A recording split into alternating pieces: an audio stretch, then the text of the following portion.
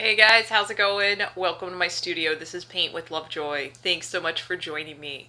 If this is your first time here, please subscribe to the channel and check out the other videos. And if you're here for a second, third, or fourth time, thank you so much for coming back and getting creative.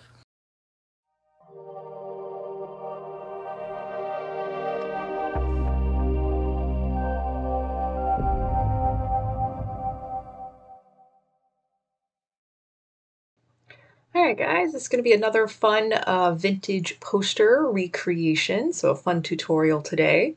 So gather your supplies, transfer your traceable to your surface, and as always, make sure you take your progress photos.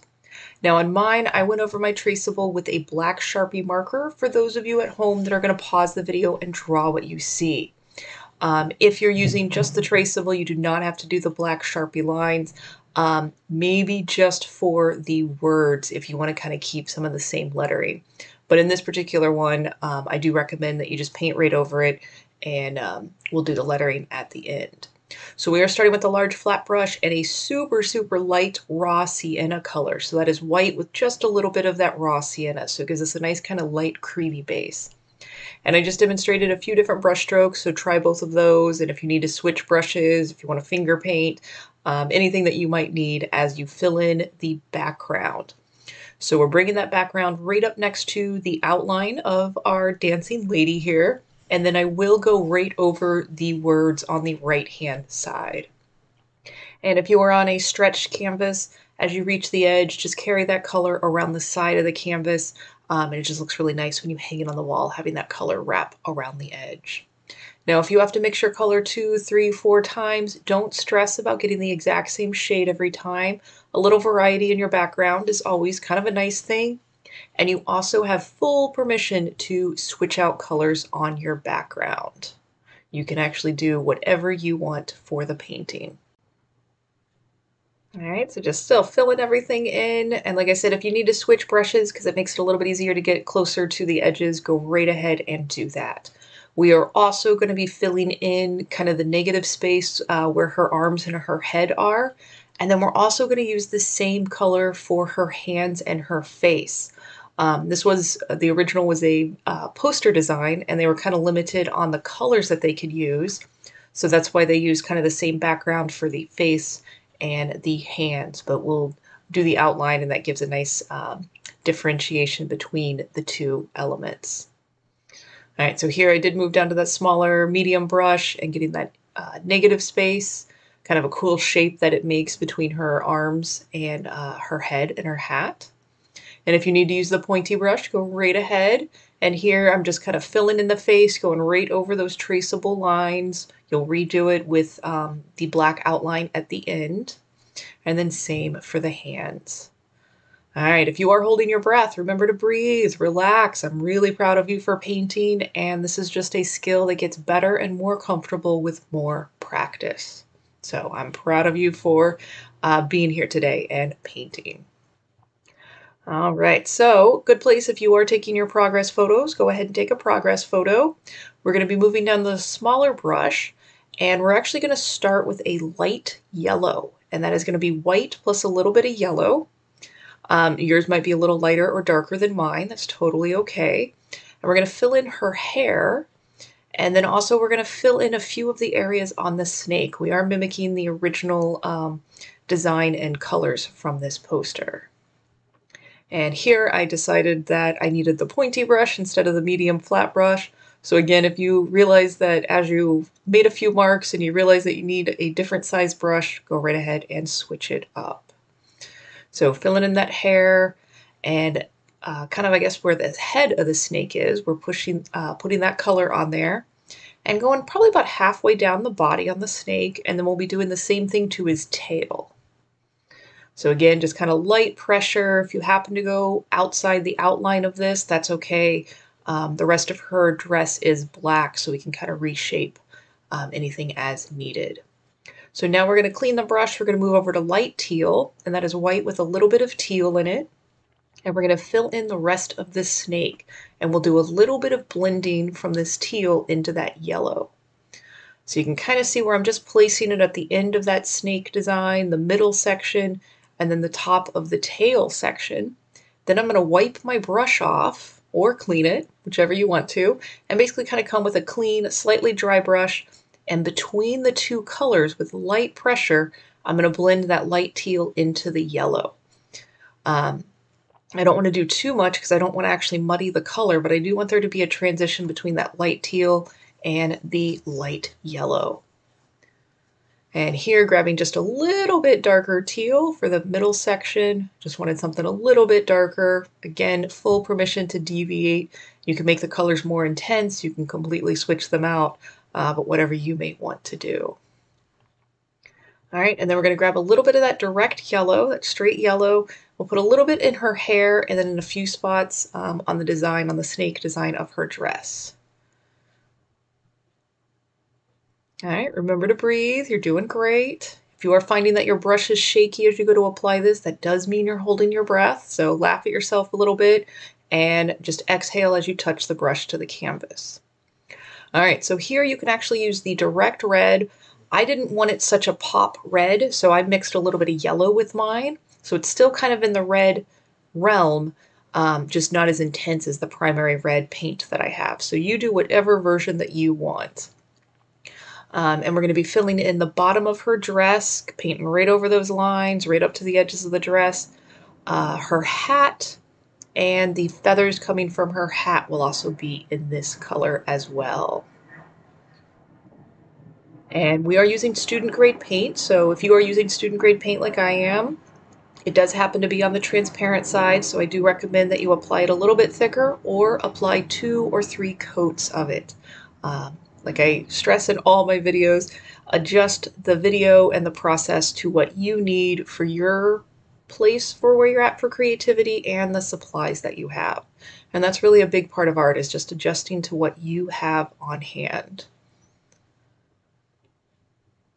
All right, and if you need to turn the canvas sideways or upside down to make it easier to get into some of these areas, go right ahead and do that.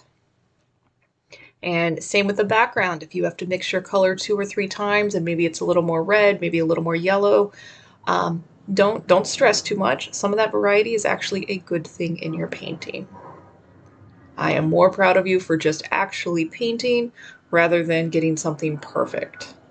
Perfection is relative to each person, so I'm proud of you and I think it's perfect wherever you're at, just the fact that you are painting and getting creative and you know just kind of de-stressing for a little bit this is a nice little escape from the world it's certainly that's certainly a big reason why i paint the rest of the world ceases to exist. So i like to be able to share that with you guys at home. All right so i think now we're going to move into the red. And there's there was like a little decal kind of on her neck and by the um, the hat.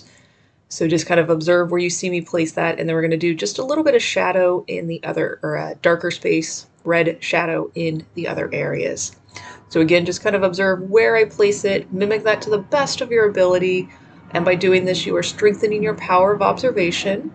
And if you happen to be looking at the original poster and you see something um, that I don't add in mine, feel free to switch yours out to what you see on that original. Whether you're looking at the video or the original poster, uh, you're still strengthening your power of observation. So great job. Good place to pause the video, take your progress photo. We're going to move into black paint next, and you can switch back and forth between that middle flat brush and the small pointy brush. Use the small pointy brush as you get into smaller little details, and you're going to want to mind the pressure of your brush. Light pressure, you'll create some lighter lines or skinnier lines. More pressure creates a wider brush stroke. And this gets easier with more practice. All right, and again, breathe, relax. And here you can also notice how uh, transparent, how kind of thin the paint is. So I will be doing two coats of acrylic paint on her dress. Again, just to what you need with the tools that you have. All right, doing great. And again, if you need to turn the canvas sideways to get to some of these areas, go for it. And notice that every couple of brush strokes, I am going back and adding more paint. Um, you'll notice that the first mark that you make is usually your thickest, your highest saturation of paint, and then it starts to diffuse as you make more brush strokes. So remember to constantly reload your paint with, reload your brush with paint. you could reload the paint with your brush. I think it works both ways. All right, so moving down to that small pointy brush, um, or actually back to that medium brush, I did let this dry and then um, reapply my second coat. Then we'll move into the pointy brush for the outlines of everything else and the words on the side. So you guys are doing great. I'm really proud of you for finding creative outlets, for sharing this with your community, for sending your pictures to me. I really like seeing those. Um, and just really glad for how much the Paint with Lovejoy channel has grown and how much you guys are enjoying the videos and your creative outlets. If you have anything that you want me to paint in the future, leave a comment or send an email. I am a solo production, but I do try to get to all the requests as quickly as I can.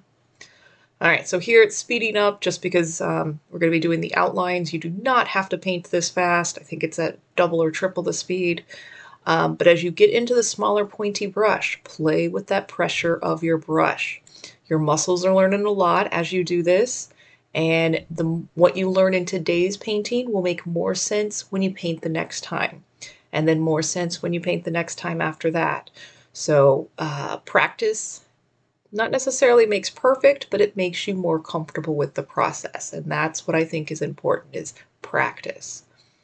And you'll find that you start looking forward to your creative escapes, and they also help being creative, it helps balance out other aspects of your life. So, creativity is really, really important to have. And if you've got kids or family members, you can use any of my videos and paint together. Those are great uh, memories and kind of even team building activities, but just good things to do with the people you care about. All right, coming along nicely. Same when you move over. Oh, I forgot we got to give her some red lipstick. So just drop that in there and then back to the pointy brush.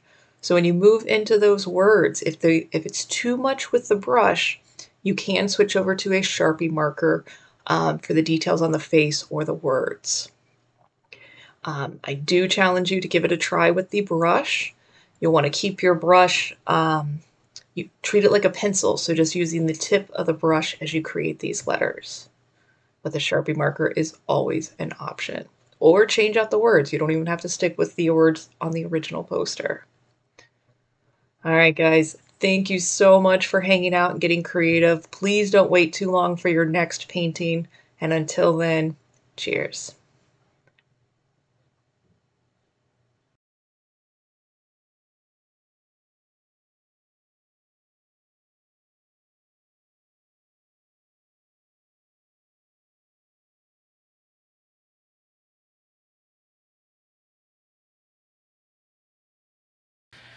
Hey guys, I hope you enjoyed the process of painting and I hope you are happy with how your paintings turned out. I'm really proud of you for getting creative.